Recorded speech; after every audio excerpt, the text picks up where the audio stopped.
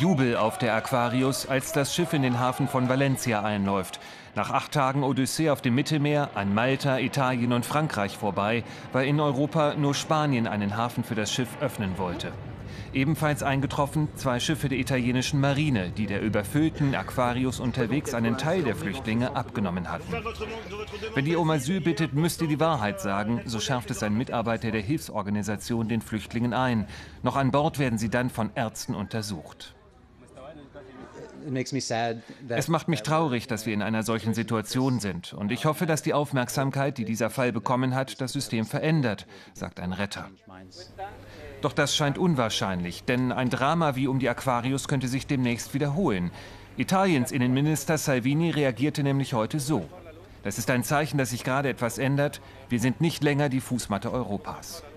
Er ist entschlossen, auch in Zukunft Rettungsschiffe von Italiens Häfen abzuweisen.